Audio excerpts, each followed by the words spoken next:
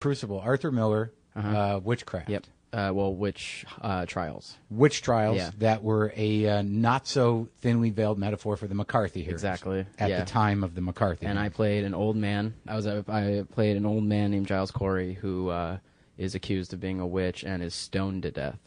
So that was very funny for me and my friends. That my friend Al McIntosh played the judge who had uh, who gets to sentence me to stoning to death, and we laughed. I think we did five performances. We laughed every time. Cause During he- the performance? Yeah, yeah. I mean, we. I mean, it was absurd. I had uh, baby powder in my hair to make me look like. I, Right. yeah, it was. Now tell please tell me this was a third grade play. No, it wasn't. This was high school. This was. I'd love to if the Crucible was being done in an elementary That would school. be amazing. Yeah. Has anyone tried that? That sounds like something that you might uh, try to do. I just I'm pitching that idea to you. It's sort of Rushmore, isn't it? Oh, I guess that's Yeah. true. But uh, even younger, did Yeah. they do that in Rushmore? How old? I mean, they were like little kids. I think. I mean, oh, shit. So I gotta Wes- watch. Yeah, well, you should pitch Rushmore. Right, again, Yeah. Mm-hmm. again, just to retitle it and maybe pitch it to actually pitch it to Wes Anderson. Right. That would be great. Are you a Wes Anderson fan? I am. I can't. I can't say I'm not. I enjoy. Actually, I I've liked all his movies less. He's sort of like uh, M Night Shyamalan in some respects. Where like me and Bottle Rocket is one of my favorite movies, Right. and it gets more and more uh, Wes Anderson each time. You know, and some people really like that. Yeah, but I think that the uh, the career trajectory, the arc, is is Mm-hmm. Is heading up. completely opposite. Right. Yeah, yeah, right. Yeah, If yeah. If you were to look at a graph Right. of Wes Anderson and F. Yeah. Night Shyamalan, Yeah, it's close enough. yeah, that, that they'd be like crossing in the middle.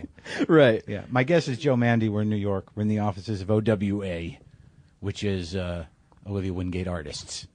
This is my uh, my studio away from home. It's the first Yeah. time I've ever recorded in here. Really? You're- yeah, I'm you're, uh, honored. Mm-hmm. it's a Virgin episode recorded from uh, from Broadway and Bond. Street. And because I'm a virgin, so it all. Are you still? Yeah. Holy shit! Yeah. I would have made that assumption, but I would have felt like I would be slighting you, Yeah, I making know. fun of I you get it a lot. in a hackneyed way. Right. Now, I uh, I'm a fan of your comedy. I, I, I sing your praises. Thank you. Really, I appreciate that because you don't do that often. No, I don't do it that. often. And oddly, for some reason, I thought we, you know, and I think we talked about this on the live one briefly. I can't remember. Yeah, I thought we had tension between us. Uh, there was no real tension. I uh, I've been a fan for a long time, and I came up to you at a show once and was trying to tell you my life story because there's a lot of overlap. And Because we were from Albuquerque. yes, we're both from Albuquerque. So that was you. See, Yeah. Mm-hmm. because there was something that happened. I think I asked you, I wrote you an email um, to, to write on, you know, the break room life thing. yes. And you were like, no, I've got a writing job. Oh, was I? well, I and, yeah. and then I thought to myself, is this the same guy that came up to me and was so nice to me? Like I, you know, Uh. the way you handled that email, I was like, who the fu- fuck, you know? And then I thought, it can't be the same guy. Really? Because when I met that guy, he was so nice to me. We come, we come from Albuquerque. Then I started asking around. Uh-huh. I'm like, do, is, do you know a comic from Albuquerque? I, I thought it was Joe Mande, and and then. well, see, because I'm not actually. I mean, I'm from no, Minnesota. but you were nice to me. Yeah. and I guess in my mind, I thought that guy would would Well, drop think- everything to write on I think we both have that. See, I write you. You write curt responses too to I do. I mean, I, it's just how I sort of. Re- if I don't reply like that, I'll forget and never reply to anyone because I have. I'm always on my phone. That's and- right. It's it's a matter of pace. Yeah. And I, I do curt responses. And then when I get them, I'm like, fuck him. Right. It's so easy exactly. to misunderstand the tone of email because there isn't unless you actually invest. Yes, it kills me because Some- I, I I'm very sarcastic, and that is the hardest thing to convey. Uh, in, Yeah, but I think that because you're sarcastic, I would imagine that any email anyone gets from you, they're right, like listening. it- they're especially if it's sincere. Like I wasn't trying to be a jerk. I was. Uh, I mean, I was writing.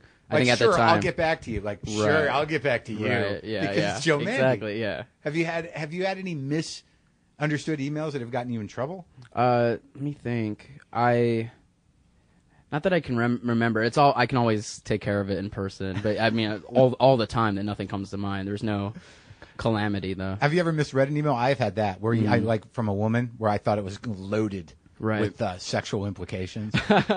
you know, and it Yeah. was probably just sort of like you know, coffee sounds good, and I'm like, yeah, hell yeah, I want to fuck you. You know, Right. and she's like, I think you misunderstood. That's hilarious. It's ridiculous. You've gotten like you're. Uh, I I didn't really realize until recently what a what a you know troublemaker you are. Oh yeah. I You- mean, you see, do you, I mean, you get off on you know publicly, you know, you know, busting balls. it's true. I uh, I think you're speaking of my Twitter account. Yeah. Yeah. That. Uh, what was that about? I I was sort of morally opposed to Twitter for the longest time, and I found I found it kind of uh, sort of gross and indulgent, and it is completely. Uh, but I joined it when I found out that people like senators and famous athletes are on there and like interact with people because it it is this weird forum where you can pretty much say anything and there's no real consequence. So I mean, I I joined it not and I thought I mean I I, I, I sort of avoided joining Twitter at first because I thought it would kind of bring out the bad sides of my personality. Like I would be so obsessed with how many followers I had. Sure. I'm like, fuck, that guy has like ten thousand followers. Who's he? Like I thought that would be my obsession, and it's really not. I don't care how many followers. Good for you. You've overcome. Thank you. Like, yeah. I, I hit a number of followers where I stopped caring. really? Oh, Yeah. I mean, I, obviously there's still a, a twinge of that, but I sort of ignore it. How many you got? Uh, I think I'm over five thousand now. I mean, that's that's that's not much, but I but I just I literally just do it to go after people I find uh, annoying. So yeah, I go after senators and, And what's happened? What are some dumb rappers. incidents? I just get blocked. I mean, I find out. Oh, that- really? Yeah, but I mean that's a great feeling to have s- David Vitter block you. on actively Twitter. say no. Let's yeah, just Cindy lose that. McCain. Cindy McCain blocked me after one tweet, and I, it was like it wasn't even anything. So she just knew what I was up to immediately. I, I always engage.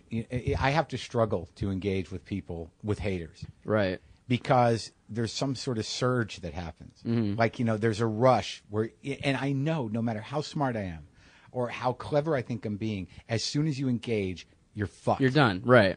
because they can just turn it on you Right. because they've they've sucked you in. Yeah, and I'm I I don't really I don't have that side of it because I'm the hater, you know. Right, Uh, but I'm going after people who probably deserve it, so I can live with it. And you don't get compulsively engaged. Uh, I well, I got into a really bizarre Twitter war with this guy named Jesse Camp, who used to be an MTV VJ. Uh, who and he's just like just just a lunatic. And Yeah. the funny thing about our our interaction was that I never said anything mean to him. Like he just kept digging himself. He was so upset and he's so Well, fundamentally what happened? Well, I, I was drunk one night at a bar and I, I wrote on Twitter, I was talking about Jesse Camp with a friend and I just wrote like, is Jesse Camp on Twitter? Right. And then someone wrote me back and was like, yes, and send me his profile. And then like, and for a while I was just retweeting things he wrote, uh, without commentary, just because they were insane, you Oh, know? really? Yeah, just like so weird. Yeah. Like, just him complaining about his friend Brian. He's like saying, "I'm I'm I'm, out, I'm outside the library. The library's co- closed. Where's Brian?" Yeah. So I would just retweet that because like, what is this guy's life, you know? and then uh, he eventually at one point he wrote like, "Who the fuck is Joe Mande?" Just right out of out of nowhere? nowhere, and because I guess he saw that I was kept kept right, and then I wrote like. I was like, "Hi Jesse," like, and that's it. I just said, "Hi Jesse," and then he wrote back, and he was like, "You know what? I'm going to sue you if you keep retweeting me because this is all copywritten and it's my property." And then that just, I just, So you tweeted that. I was, yeah, obviously, he did that in public forum. yeah, he did that. He, so he wrote, he said, "I'll sue you if you keep retweeting me," and then I retweeted it, and I said, "See you in court," you know, stuff like that. And it like it was never that mean, but I was just like, Yeah. you know, and it, And it yeah. started with nothing. It started with nothing, How- and it, it went on for like two days. It was it was hilarious because he always responded, Right. And then it, it was just it was so funny. Well, that's well. That's sort of an interesting thing about you is that you you sense you can sense the humor, the you know inherent humor in something that is fairly. It's just indicative of a ridiculous life. I mean, just to, to retweet, you know, where's Brian on some level wouldn't. You know, no, I don't think that everybody would see that and go, "This is ridiculous." Right. But it's ridiculous because it's just has been, Uh-huh. and who knows what his life is like. And then it actually pushed his buttons, Yeah. and, and it and it served to do exactly what you set out to do to make him realize that his life is small and ridiculous. Right. And my new thing now is I follow a lot of corporate Twitter accounts because all these corporations have That that worked for me. yeah And what how, what have you gotten? What are some results? Well, I just just recently I've been sort of I've been replying the the the White Castle corporate Twitter account is always asking these questions with fill in the blank answers, and I always just write the most morbid, depressing stuff. You know, so like, they're like. commentary for their hamburgers. yeah, they're like, stuff? "Hey, Cravers, uh, what are you doing this this uh, weekend?" Yeah. And then I'm just like, "I'm just gonna stay in my room and stare at candles," you know. And then they'll- they wrote they wrote me back and they were like, "Oh, that sounds fun. Is it White Castle scented candles?" Oh, yeah, and I was like. I, "They might be because they smell disgusting." you Oh, know? yeah, yeah. So I just And then what happens? uh, they they They they, stop? probably blocked me. I don't know. Well, the interesting thing about corporations claiming uh, the personhood that they're uh, uh, availed you know, Right. legally and just you know trying to engage among us, obviously for promotional purposes, is that I had an issue with Virgin Air, Virgin America, Right? Yeah, I saw that. and I got because of the number of followers. I have to assume it was because of that. Uh, you know, I got immediate response. That's amazing. It was just basically, you know, why did they, you know, separate me and my girlfriend, Mm-hmm. uh, you know, without telling us? And they corrected it and they gave us, you know, main cabin collect, main, you know, the the good seats, not Right. first class, but the second down. And I, I just think it's interesting that that does give us a certain amount of power if you have the the followers, Right. If you have some uh, uh, momentum, Gravitas, yeah. gravitas, Yeah. But you can really get you know action done. That's awesome. I mean, that's sort of why I pursued this lifestyle in the first place is just to be able to skip lines and stuff. Like I'm not I'm not going to wait in line for anything. It's a really this- gross part of That's why you pursued what celebrity? not celebrity. I mean just like well, yeah, I mean just just show business in special, general. right. Yeah, cuz I'm special. And and and how's that panning out? Yeah, yeah, it's it's going all right. Where, where have you found that uh, it has actually worked in your favor? Mostly just comedy shows, nothing else. you can get your own soda at a couple places. Right, exactly. Finally, you've really- earned the ability to go. Right. Yeah, I'm a comic. And I mean, I'm still working on it. Hopefully in the next few years I can What are you working on right now? I uh, right now I'm just sort of doing stand up, doing the odd writing job here and there. Like, what have you written on? Uh, I just finished doing uh, writing a pilot thing for Reggie Watts Oh, okay. with Jessi Klein. She and I were the writers. So you've been to this office before. I haven't actually. No, Well, we- now you know Reggie's manager. Yeah, we met. Yeah, I know. Yeah, I know Olivia. But we uh we met at Reggie's like super cool hotel room every day. That was our writing. Uh, Oh yeah, you're yeah. staying in one of the upscale places. He was staying at this place that like I thought I would be patted down to you know to make because I was Jessi and I were both just not cool enough to be in this hotel. It was I've never seen anything like it, and that's just it was a spaceship. We went. It was a spaceship. Oh really? Yeah. It was here in New York. Yeah. Which hotel? Uh, the standard. Right, I've stayed there. Right. Yeah. So he was working at Well, I- comics, or he put himself up there. Uh, yeah, I don't know. I don't really know what the situation was, but The, he. the weird thing about those hotels, you know, as spectacular as they may seem and as great as they are, they're they're kind of impractical. Totally. Yeah. You, I mean, I was at the Standard, and they've got the design so the bathroom, the sink, and everything is like basically in the shower. Mm-hmm. Yes. And I was in a room there where you could not, the water would go all over the place. It made it dangerous to be in the bathroom. Some of it would overflow onto the rug. Mm-hmm. Uh-huh. And we said, uh, look, you know, you should provide squeegees in those rooms where you have fucked up the showers. Right. And of course they go, oh, that's a very interesting suggestion. We'll make note of that. Yeah. So No. th- there, it, there's. I would rather stay in a Marriott Suites hotel Mm-hmm. where I have a refrigerator uh, and a microwave, and you know some of them have stoves or or or an extended stay. See, when you really start working the road, that's where the real payoff is going to be. what stoves? Yeah, stoves in hotel rooms. Sweet. 'Cause I look forward to that. So when when you get to a particular town, if you're there for three days, you're not held hostage to the dietary uh, uh, uh, restrictions of corporate food Oh, court yeah, that's food. the worst. Because I cannot handle that. I have the most sensitive stomach. I can't do that. I know. Didn't I bring you somewhere and you had a problem? I always. I mean, probably. Where yeah. did we? Where was that in Vancouver? Did we Uh, go? Oh yeah, yeah. We uh, I had fried scallops. Like I should have known better. Oh, no, Seattle. I Yeah. was in Seattle. Yeah. Really? Oh, immediately. Like we, I finished my meal and I was like, yeah, I'm gonna go. Yeah, I gotta go. Oh, that's right. You hotel couldn't even make it out for the Pikes. nope. nope. I was done for the most of the afternoon. is that is that clinical? I mean, can you treat it's it or what? i mean i've in high school they thought i had the most like severe case of ibs they'd ever seen they thought it was uh, stomach cancer because i just I, I literally for about four years woke up every morning with just explosive diarrhea just Now- every morning just that was just my part of my routine Have you got any good shitting in public stories in your pants? uh there was one time actually there was one time i was on a conclave Sorry, being like- insensitive. No, it's fine. I that's it's my life, you know. Shitting all the time. Uh, I was at this thing for my Jewish youth group when I was like 15. Jewish Yes. youth group stories. Yeah, and we were on a bus uh, in Wisconsin, and we had just uh, we had just gone to Taco Bell. So I mean, already red flags. Did you know when you were eating it that? Pro- I mean, yeah, it's always like sort of Russian roulette with Mexican food. Yeah. Mex- Mexican roulette. Yeah. And uh, immediately, I just knew I was I I, ha- I had to go, and it was like in a school bus. Yeah. So there was no bathroom, and I had to go up to my rabbi, the front of the bus, and say, you know, uh, bad things are happening to me. We really need to pull over at the next rest stop.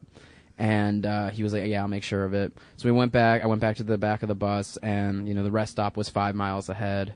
And I'm just like, you know, pacing, on, and ass. and then the bus driver just blew right past it. And the next rest stop wasn't for like 45 miles, and I didn't know. I had, I, I my body was going to explode, you know. Yeah. And I, and uh, to this day, I can't listen to Tom Petty without thinking, of uh, I, I put on the Wildflowers s- album, and Yeah. I, like the only time I've ever successfully meditated. But I meditated for those 45 minutes to the next rest stop and ran. And I, my friend was in the bathroom and he said he's never heard a human body make those kinds of noises. I was in there for everyone on the bus is waiting for me. I, mean, I was in there for like 35 minutes just. So that that is Evacuating. a- an amazing testament to the power of meditation and complete fear of peer judgment. Oh yeah, yeah. I mean, I probably there. I probably hurt my body in the long run the way I was clenching every muscle. that that is a that is a superhuman feat. That that is almost Nietzschean. Mm-hmm. I still to this day I don't know how I did it because it was it was bad.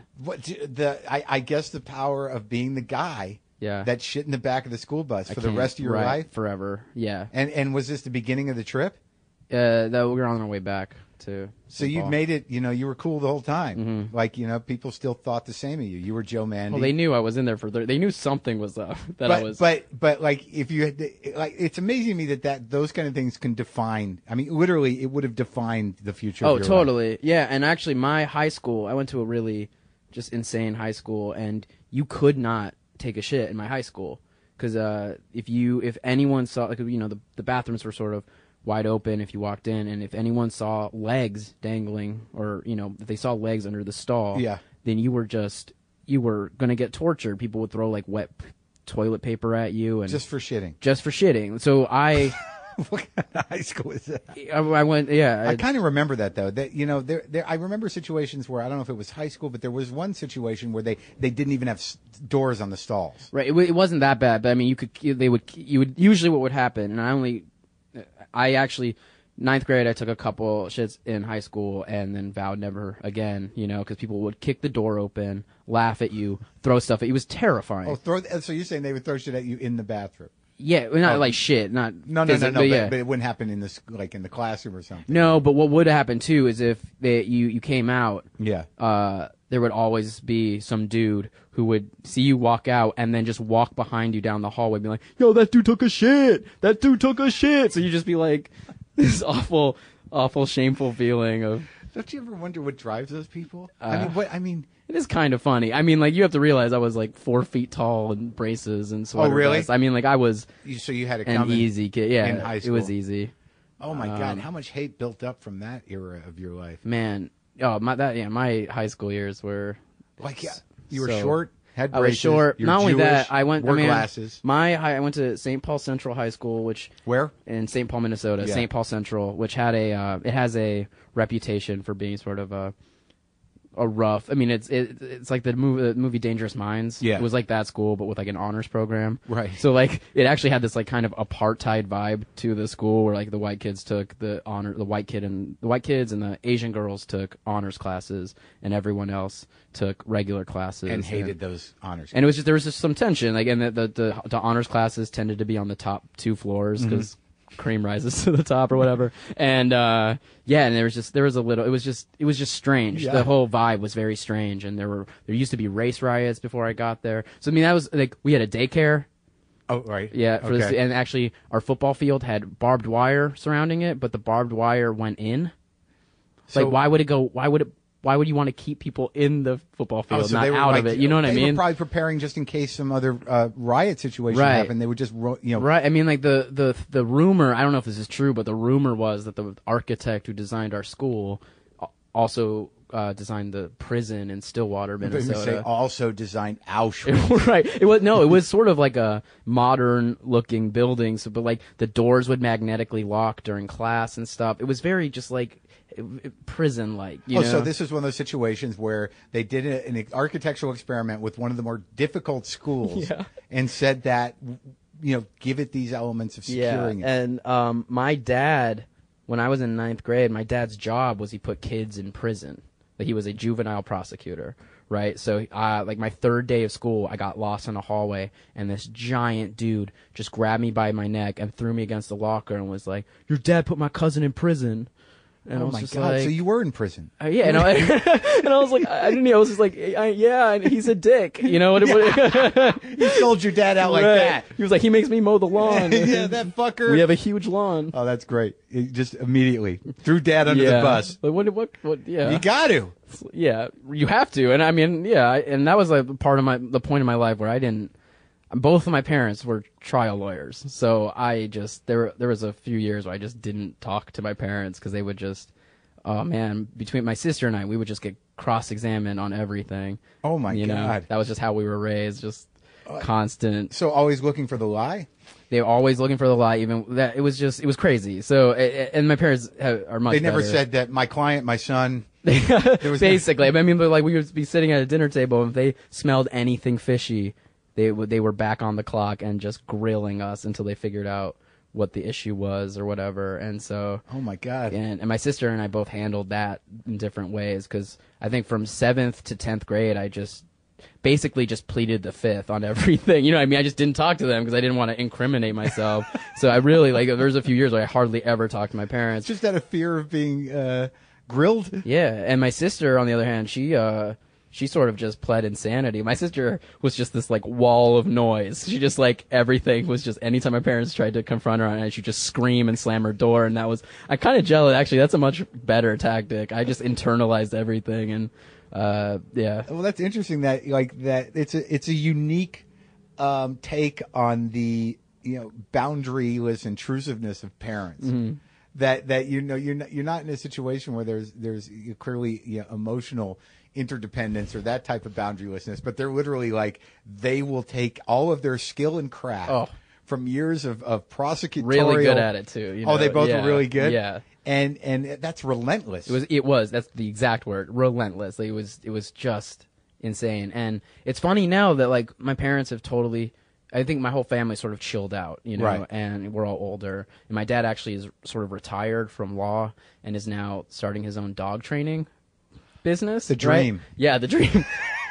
and so uh it's got to control something. Exactly. Yeah. Uh, and my dad actually, we had this funny moment last year where he had just taken all these really kind of intensive courses on how to. It's kind of animal behavioral stuff, you Uh-huh. know, and he was learning a lot about uh, dog He didn't ask you to get in a box. No, no, no, no. But he did sort of come up to me and and apologize for how he uh, treated me as a kid.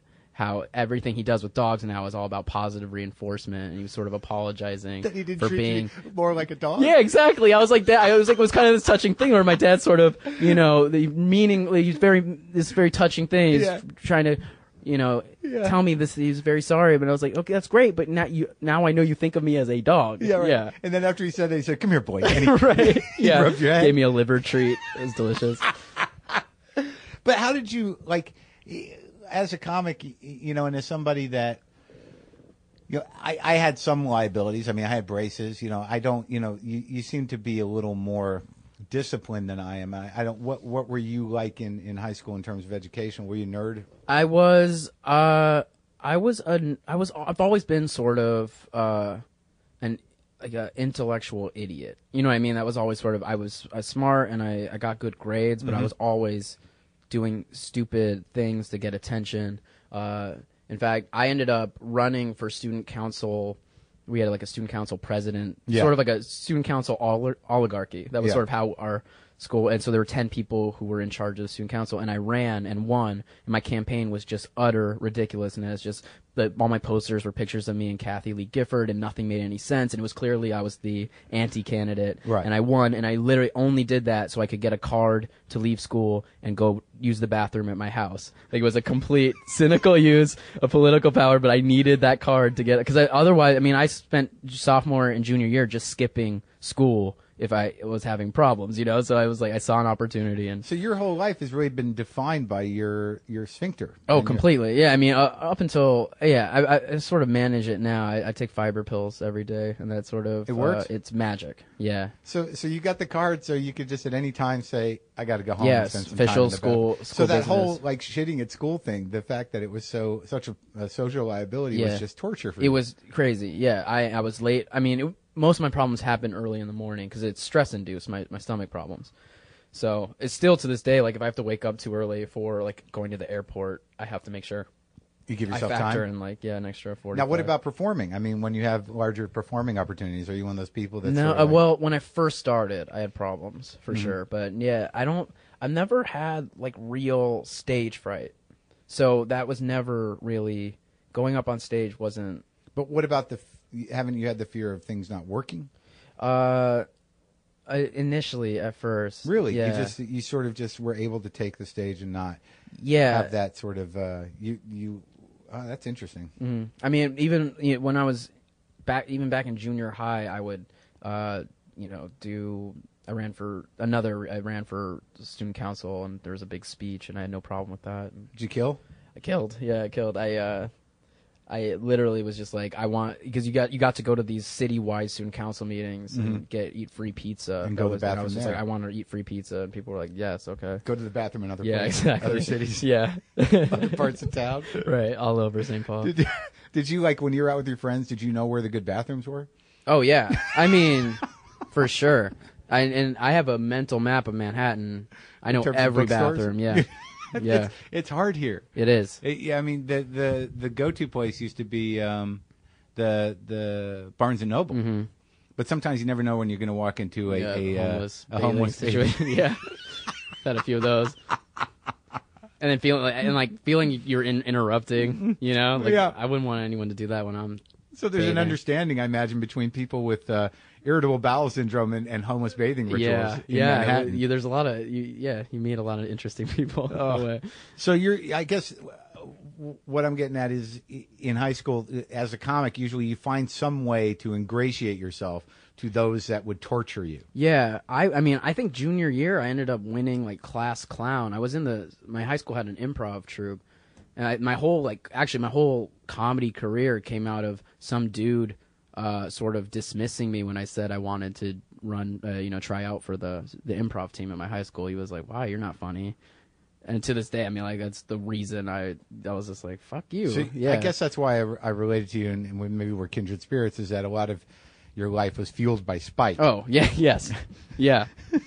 spite against those who would condescend and judge. Mm-hmm. Right. But were you able to sort of baffle and uh, ingratiate yourself to the more menacing of the jocks and perhaps the, the Yeah, more I mean, my favorite the- story, the uh, bad element? my favorite story uh, of of that uh, my in ninth grade I took Spanish in high school. It was the only non honors class I ever took, uh, and it, uh, it I showed up the first day ninth grade, so I was very short and braces and sweater vest. I don't know why I wore sweater vests, and What I made you do that? what I thought it was cool. Uh, and I got into Spanish the first day of class, and it was just me and it was like me and like the JV basketball team. That was the class basically. Right. And uh, I I was like, it'll be fine. I listened to OutKast or whatever, and uh, I sit down and the, and they they were just ruthless. They would make fun of me. They would uh, call me names. They would choke me. I got choked a lot, but it was never violent. They Right. just would come up from behind when I wasn't expecting it and like wrap.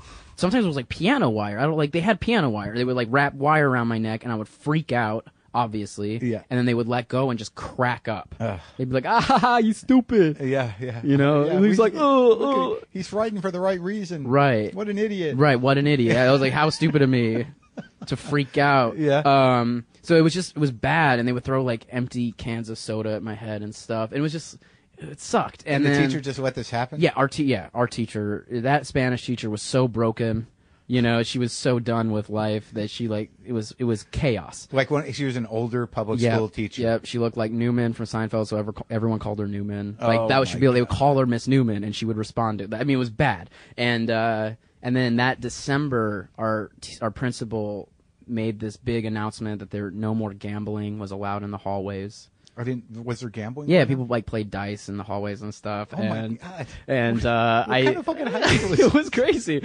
Um, and we There I were active dice games. there were active on? dice games. There were there were like the Asian Like, come on, seven. the Asian kids would have breakdance competitions in between classes, like the you would- hallway. In the hallway, and I actually started doing this thing. It's like it's I do it on stage sometimes too. I got really good at making it look like I was about to start breakdancing. Because actually, I was just trying to get through the hallway, right? But I would get in the middle of this like big circle, and it would be like my turn, and Yeah. I would start like moving around to the to the music and Yeah. like you know Yeah. pumping my shirt and making it look like I was about, and I would just do it until they realized I was never gonna start break. And I would go for like two minutes without actually doing any dancing before they like pushed me out of the Oh circle. God. But anyway, but back to the, the the story. So our our principal, she instituted this no gambling policy, uh, and I I saw an opportunity and I went up to these kids in the back of my class and I was like, you know, I can teach you a gambling game that you'll never get in trouble for playing if you just stop choking me, right? It was they- that clear. There was a was like- yeah, negotiation. yeah, it was a clear negotiation, and they thought about it. And the next day, I brought, I taught them how to play dreidel for money. Stop it. I swear. Yeah. And so for like a good month outside my Spanish class, you would walk by and just see these black kids in like Avirex jackets huddled over a top. Over Yeah, just like, yo, that's a W, motherfucker. Pay up. awesome. yeah. Oh, Yeah. Were were they gambling for chocolate coins? No, they weren't. Real for money? real coins, for I- real paper money. I wonder what Yahweh thought of that. yeah. I, I, who I think that well, no, but I thought that that you know, it, you know, when you think about the history of the Jewish people and the Jewish scholars and the debate and Talmudic arguments that uh, that that elevated and, and guaranteed the safety Yes. of a Jew, Right. You did something very, I did. very proactive. yeah, who knows? Maybe they converted. That's a W. I don't even know what's on a dreidel. So did you do the Hanukkah thing? I, I uh no, not really. I've sort of um now that I'm away from my parents' judgment, I don't really I'm not too uh practicing. Yeah, I don't. Uh, I don't know. You know if it's the same with you, but like as a Jew, growing up in New Mexico, and you were there for a brief time. for 11 years. but having parents that come from Jews, but we were never really identified ourselves as anything but conservative. Right. There, was still that sort of like we're better than the Reform because they have an organ singing. Oh, we were that that was us. Oh, you had the organ? Yeah, probably. And uh, but I, you know, the weird thing coming out of it, outside of identi- uh, identifying myself culturally Mm-hmm. and and following a certain number of the traditions for, because of, of family, and it was expected of you. Mm, yeah. I was never given any sense of God at all. Yeah, I'm never I never bought into it and I Why? never It's not even buying into it. No one ever said I had to pray. Uh-huh. No one ever really, you know, you know, made me understand, you know, what belief meant. Mm-hmm. You know, it was never. I was never, uh, and, and I'm grateful for it. It was never posited in my brain that you know God was something to be feared or that God answered any questions whatsoever. right. I mean, someone's got to drive that in. Yeah, I never got that either. And didn't get never, I never, either. I went and I went. I was like, I was Jewish growing up. You know, like I went to Jewish summer camp and like youth group stuff, and Yep. never, never took that part of it seriously. I mean, you know, if you if you drop a, my friends and I were just awful. Like we when you know when you drop a prayer book, you're supposed to kiss it. Right. We would drop it on purpose, just to like make out with our. You know, like act. You know, just getting Yeah, yeah, going yeah. to second base with our prayer books. Like you know, we're just terrible, and weird, never right? took it seriously. And and then I had I had this uh, experience a couple Passover. It was four or five years ago. It was Passover, and uh, I was I was doing the Passover thing to see if it meant anything to me, and I ended up getting conned by this Israeli guy for like four hundred dollars when I had I had no money, and it would the whole time he was like, "It's a mitzvah, it's a mitzvah," and I knew I was getting conned, but in my head I was like. Maybe. Maybe because the whole thing was like he was saying it was cra- this guy How was did- wait, I awful. don't understand. This guy was at a seder. He was No, running an no, expensive man. It was or- a straight up like the like, I was waiting for a train. I was at work. and it was over Passover. It was a it was over Passover. It was Okay. Like day So you were two aware or of three. Passover. I'm I'm yeah, and I'm I'm pissed off that I can't eat bread. Like you know what I mean? Like So you do, okay. So you're you're saying that like you know you did you followed the rules for Passover. I was that following the week. rules. Yes, and I was seeing if it meant anything. Right. Because up until that point, like I was just doing it because I was expected to. It was, well, you go, you eat, and you Right. do the plate, and there's something funny and kind of, you know, endearing about if you're with family. yeah, but I wasn't. I was by Right. myself in New York, and I was seeing you know if, if I Joe were Mande search for meaning. right. Yeah. And then I definitely found it. Uh, Yeah. This guy came up to me, uh, and he was like, "Excuse me, are you Jewish? Are you Jewish?" And I, oh, I, I feel bad, but I usually say no. You know? Oh, really? Because I just don't. I usually fight them to not make me do tefillin on the train. Oh, right. But I, I know that's what they're going to do, and it's like So I was also. Yeah. No. Well, he wasn't. Normally, it is. This guy looked like Michael Chiklis, Okay, right? Like yeah, a yeah. tan Michael Chiklis. Okay. And uh, I was like, yeah. And he started telling me how he at first he was just wanted to know if this was the train to Queens because he had Right. to get to LaGuardia. Right. And then he started telling me this weird story about his girl, his his wife and his child were at this house in Astoria, and he was trying to uh, get his uh, uh, shekels in order, and all, it just made no sense. And all, and he was like, "Can you help me? It's a mitzvah. I just need you to go to this bank and help me convert shekels into dollars because I don't have a bank account in America." And I was like, Wow. okay, sure, whatever." This a man." hustle designed for Jews. It was a hu- yeah, it was, and it's also the worst hustle. Like it- when it got to the point where he we we, we surfaced, we were we were on 59th Street, and he started talking to me about like he started asking me about my girlfriend and is she Jewish, and I said no, and then he was like, "Better dump her," you know, what I was like, "Who are you?" Yeah. You know, and then but, he started. but yet you're following him to a bank. Exactly, and then he's like, you know, our, you know, my grandparents didn't die in the Holocaust for you to date a Christian girl, and I was like, you know, and then the whole time I'm like, they didn't. You're clearly a liar. You know, Yeah, you're yeah, a, you're a liar. But I'm trying to, but he keeps he's nailing home that it's a mitzvah. It's a mitzvah. He's, yeah, I'm I'm helping him. We're Jewish. We're achim. You know, all this whole thing. So we get to the bank, and uh, I'm like, okay, so give me your shekels, and then he was like, no, you you misunderstand. I uh, I need I need money to turn into shekels, and I was like, what are you? That's the opposite of what you said. And he told me you know, he needed four hundred dollars. He did the conversion rate. He said this many shekels, and then was like, uh, it's about four hundred. And but at the time, also, I had a broken iPod, and I was I was actually waiting to buy a new iPod. Wait, so you different. couldn't check the shekel to. So I I don't know why I did this. I went and I got four hundred dollars out of my savings account and I handed it. I was about to hand it to the guy, and then I was like, "Wait, I need your information." You know, if you're because he said his name. First of all, he said his name was Israel from Israel. Right, and then he owned the biggest falafel stand in Jerusalem. Like he was the worst con man in the world. But you're falling for it. I was completely then knowingly. But- but- and I don't. It's the. I don't know why. To this day, I don't know why I did this. And so I gave him the money, and then he wrote on the like a deposit slip. You know, it, it was all in Hebrew Uh-huh. script, like Israel from Israel, a phone number with like thirty digits, right. And then he just walked away with all my money. And I was just like, I just gave that dude my iPod. That's Yeah. my iPod. Yeah. And I was just like, just just to see if like I can trust this. I mean, I don't know why I did it. It, it bothers me so much, and I I was like, well, at least I got a story out of it, and I did it. I told it, that story a few nights later on stage, and in the back of the room, I hear someone just freak out, and when I get off stage, it was Nick Kroll. This dude, same dude conned Nick Kroll out of like two hundred and fifty dollars. Uh, you know, like on Tu B'Shvat or something. Like, it, like this guy knows how to find like uh, like insecure twenty three year old Jews going through some sort of Spiritual crisis. spiritual crisis. Yeah, yeah. So It's a mitzvah. it's a mitzvah. We're achim. Yeah, That's another interesting story. yeah. That you know you you you, you taught the Goliaths how to play dreidel for money. Yes.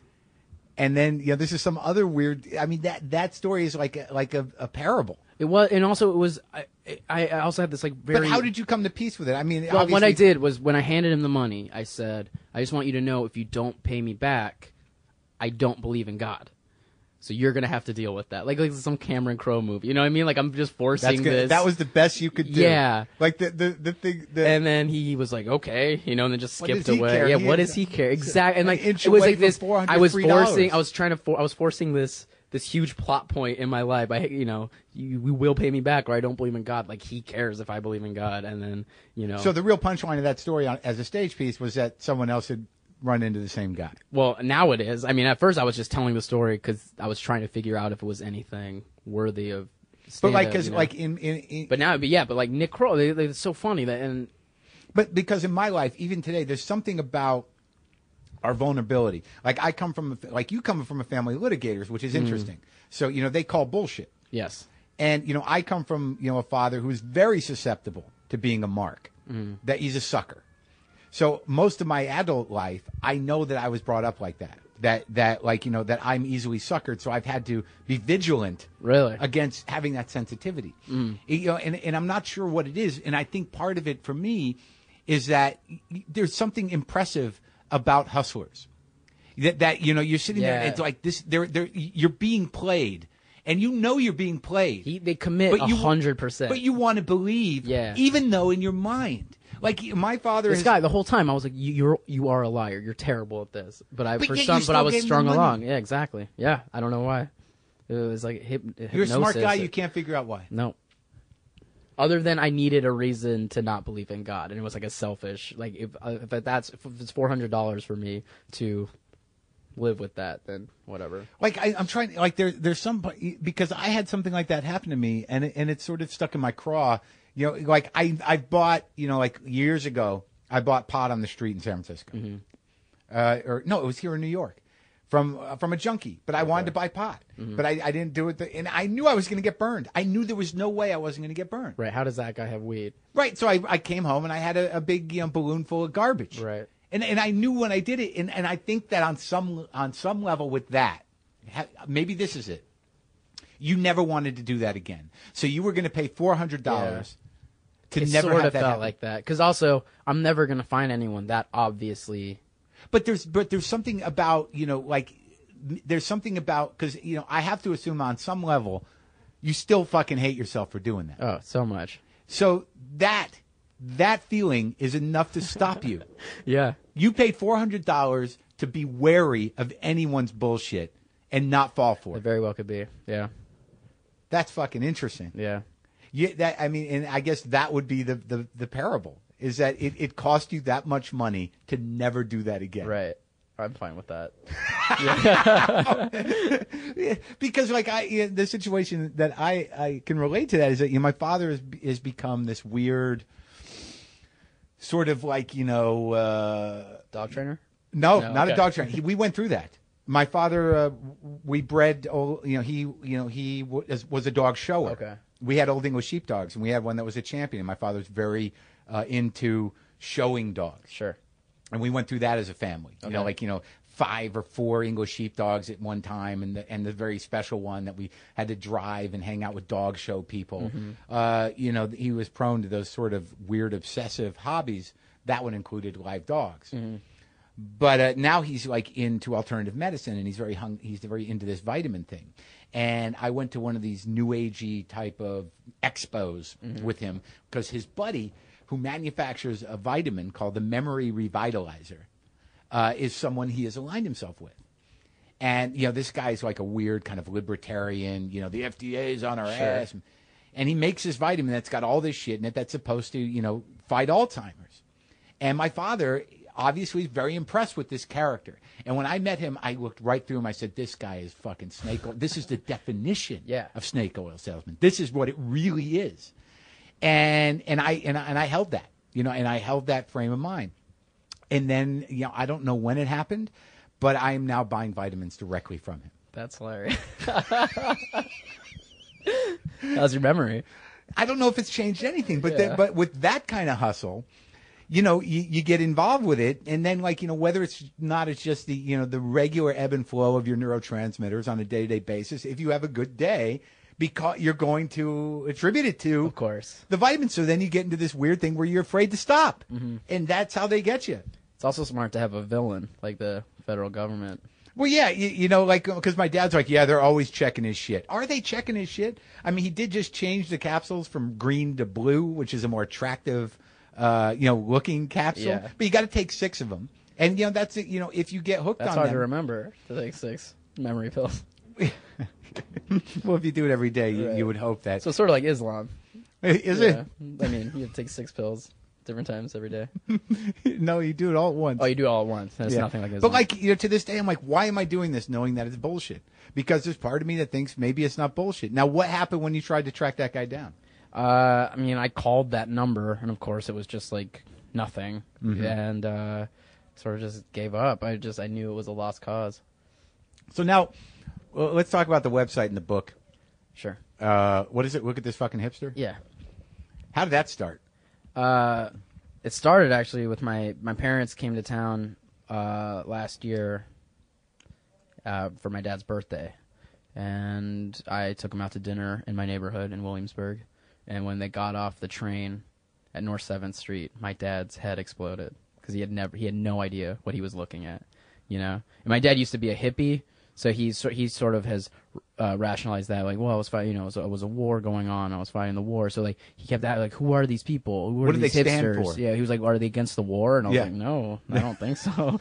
you know, and yeah, the more questions he asked about hipsters, the more confused he got, and the harder it was to explain Uh-huh. what what what what I was surrounded by. You Right. Know? And uh, so I told my dad when we were eating dinner that he should start a blog called "Is This a Hipster," where he would take pictures of people in my neighborhood and then just underneath like yes or no, and then people could vote whether they were or not. And then I realized, you know, shortly after dinner that my dad's never gonna be able to figure out like Right. a blog, his software. So uh, or his new camera. or or, well, he he's actually very good with adept with the camera, but uh, also he lives in suburban Philadelphia, so there's no hipsters really, you know. And uh, uh, so then I, I- started it like a week later. I started a website called Look at This Fucking Hipster, and just was taking pic- pictures of people in my neighborhood. And uh, it, it's one of those weird internet things that just I had no intention. It was just a thing for my friends and I and my dad, just a joke, and it just blew up, kind of completely out of my hands. And I, I did no publicity for it or anything. Like the the the layout of the blog is just like the default settings. You know what I mean? I put no Right. real effort into And it. it was just a yes or no question. No, it's just it was just pictures of people uh, around Williamsburg, and then just funny captions underneath, like little quotations of uh, what they would be saying or what I imagine them thinking. You know? Right.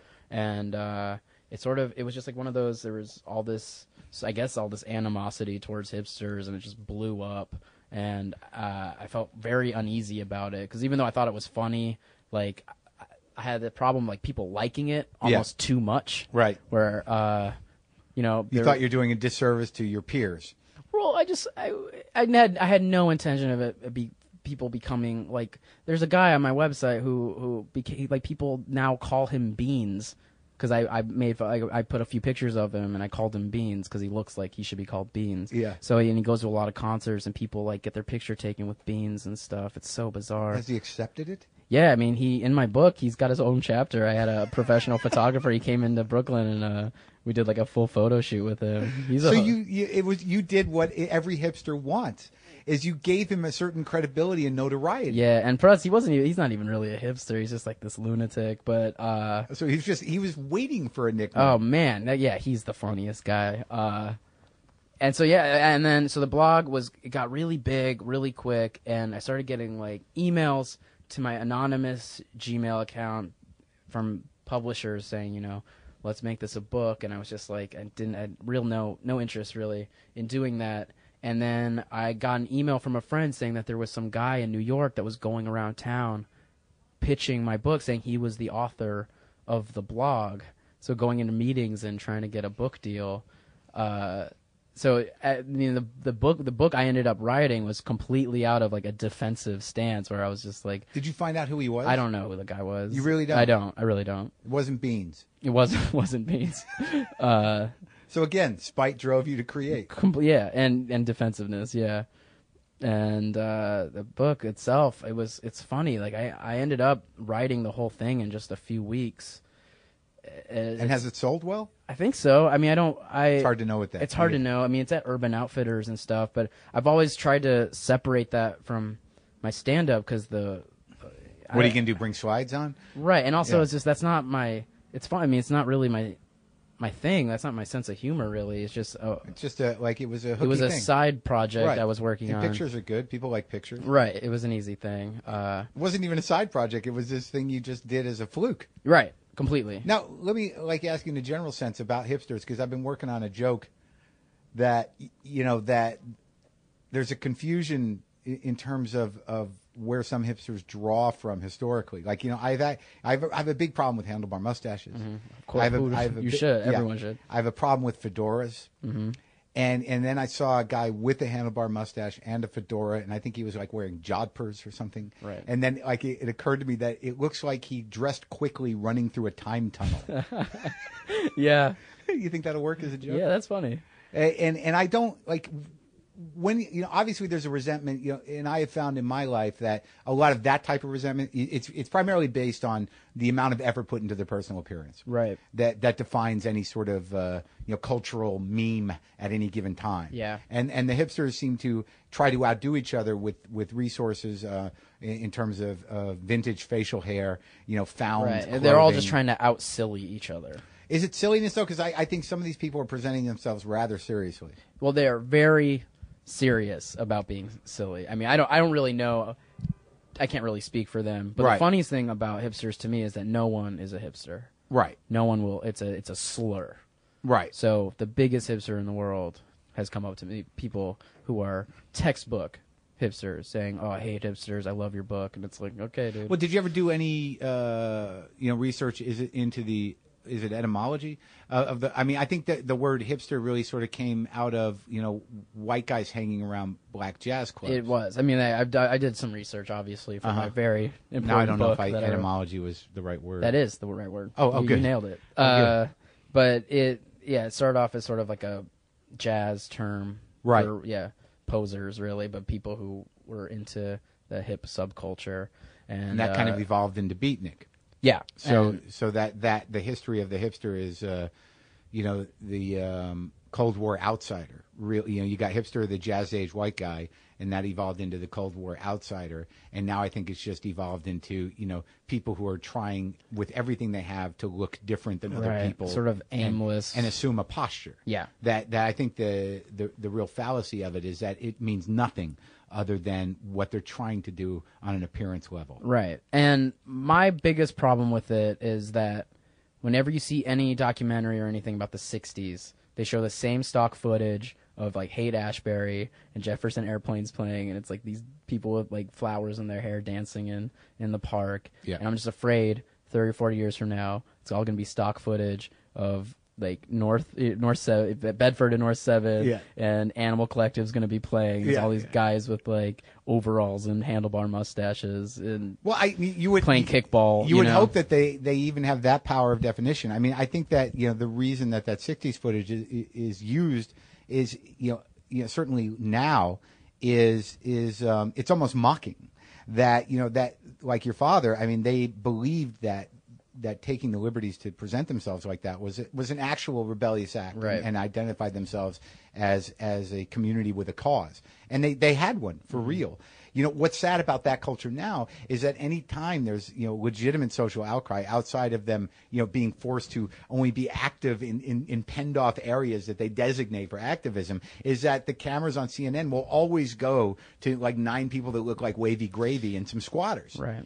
So it undermines everything so that actual image of the hippie has has you know now you know is clownish It is. You're right. and and it's sad because you know they actually did something I Right. believe I mean, I, I Hipsters comparatively, yeah, and I mean, and that's the that's the thing is That's what confused your father. Do they do they stand for anything? yeah, they're just clowns. I mean, it, when you look at when you look at what a clown is, they're clowns. Yes, yeah, absolutely. They're serious clowns, which is the worst kind of clown. Well, yeah, well, I, got, I actually have another question. That yeah, the one thing that impresses me about your comedy is that it's literate, it's smart, it's long form.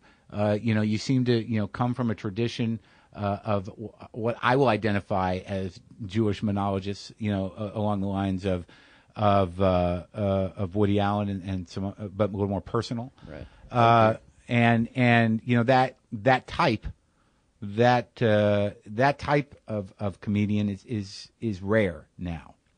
Uh, you know, in the '70s, you know, back when you know you, you, know New York dictated, uh, you know, the the cultural high point, and and uh, neurotic Jews were unmedicated, and uh, the the, uh, the therapy was was accepted, you know, across the world as as as being something that is possible and that is done, and, and that neurotic Jews do, and and they talk about it uh, is gone. It- It's been medicated away. It no longer exists as an archetype. And how? What's your success rate with this stuff? Because you seem to have figured out how to make it work for you. Well, I don't take medicine, so I guess that helps. Right. Uh, yeah, I, I, I think I've sort of figured out what I, I like doing on stage, and it is sort of short stories, you know. Uh huh.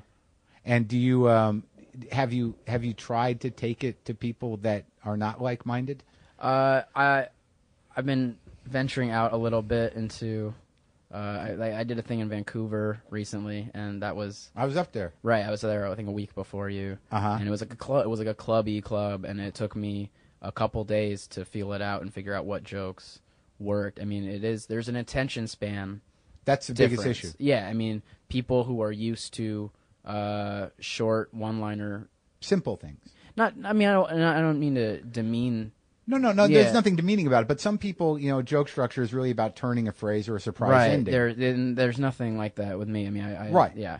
So, so in order to sort of you know move through something that requires them to to lock in Yeah. and follow you, is, is different. You're, you're really dealing with sophistication and attention span. But if you look at you know most one-liners or jokes, what they're waiting for is a surprise ending, Right, or and- or a poopy ending. Yeah, and I'm I'm going for a more visceral thing where I'm I'm trying to tell a story and keep Right. people along for the ride. And I, I I've been I've opened a few times for for Birbiglia and I've Uh-huh. learned a lot of how his how he works where he really does just try to hit jokes throughout the story. Right. You know, and Right. that's that's that's something you really have to So what you do is what I do, and what people who tell stories do is that you, at some point you have to identify, either consciously or not, this is the laugh place. Yeah. and you can dictate the rest of the story. Because I think when you when you first start with story form, you don't really know where they're going to come. And I'm still like that. There there are times where I talk about something that's happened recently on stage. Where people laugh, and then you know after the show, I got to go like, why'd they laugh there? And then can I make it happen again? Right. right. And it's like is it a face I made? Yeah, yeah, Yeah. right, right. And and that's the trickiest part about doing it that way. Yeah. But it's working. I'm trying I mean I'm I'm figuring it out. Things seem to be going all right. Yeah. Yeah. Have, did you do? Have you done any television? Uh, I'm wait. I've done like live Premium at Gotham, live that Gotham. essentially, but I'm waiting to do a late night show. Are you Uh, on? on uh, are you uh, in line at Fallon show or? Who knows? I don't. I don't really. I'm so. My parents are so freaked out about that part of my life where I don't know. I don't know how things work. I. I, I suppose I am. I know. I've sent tapes in. I've talked to people, but I can tell you honestly, as a guy who's been doing it a long time, uh, the freaked outness will never go away. Yeah, I, and I, I've, I'm fine with that. But my parents, you know, they've been no, my parents have been so cool about me being a comedian. You know, they, they never pressured me. So I think I would be a pretty good trial lawyer. Yeah. You know, and I, they never because I think well, ultimately I think my dad wanted to be a comedian. He and all his friends. But Lawyers just, definitely do. Yeah, they just get they hang out at dinner parties and get bombed and tell s- war stories. I used to do know. a joke about lawyers are, are creative, charismatic, entertaining people that didn't have the courage to follow their dreams, so now they're going to make everyone else pay for it. Okay, well, I hope my parents don't hear that. Uh, Does that make sense? I mean, I'm not saying it in, in a negative way. That that most lawyers I've met that go the trial route Uh-huh. are are performers. Oh, and, totally, And, and yeah. many many people, there's more so than other professions, have left law right. to do stand up. yeah. Al Lubel, Greg Giraldo, uh, Mike. Uh, there's there's been several. Right. Yeah. Uh, there there is a performance aspect to it for sure. So your parents are a little more frightened than you are. they are. I mean, they just they just think it's crazy what I'm doing because I they always ask me like, "What's the next thing?" And I was like, "I don't know. I'll figure Well, it out." You're a guy, I imagine, you know, management and uh, you know people who are somehow taking care of your career are trying to move you towards writing. They are. They're they're very uh very into. I'm a, I'm an ideas guy. Yeah, say. yeah.